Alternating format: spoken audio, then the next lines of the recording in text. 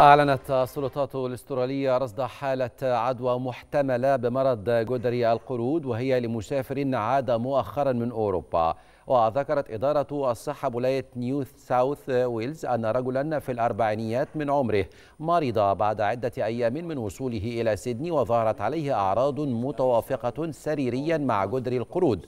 وأضافت في بيان أن الرجل وأحد المخالطين من أقاربه يخضعون للعزل في المنزل Monkey virus was uh, first found in monkeys in 1958 and first found in humans in 1970.